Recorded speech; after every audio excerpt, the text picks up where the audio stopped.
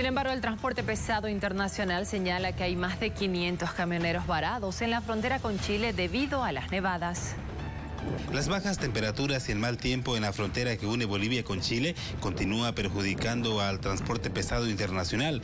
Piden que la Cancillería pueda mediar para que el gobierno chileno apresure los trabajos de limpieza en la carretera. Lamentablemente la tormenta de nieve ha caído de, de gran manera en territorio chileno ha tapado totalmente la carretera, no hay huella para poder eh, seguir.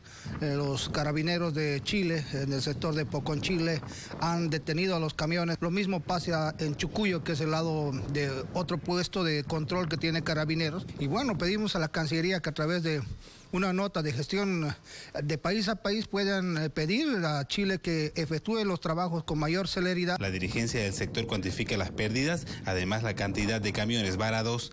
Es alrededor de 700 bolivianos por día por contenedor. Entonces estamos hablando de 500 a 1000 camiones que están transitando con contenedores y esas demoras que está habiendo en, la, eh, en el tránsito, en la circulación de los camiones, directamente repercute en multas y sanciones.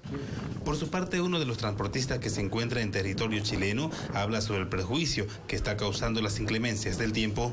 Está cortado el tránsito a la altura de Chucuyo, tres kilómetros antes de Chucuyo, eh, por carretera con nieve y mal tiempo. En este momento estamos bajando, hay eh, varios kilómetros eh, de tacos, de atochamiento por vehículos y camiones bolivianos.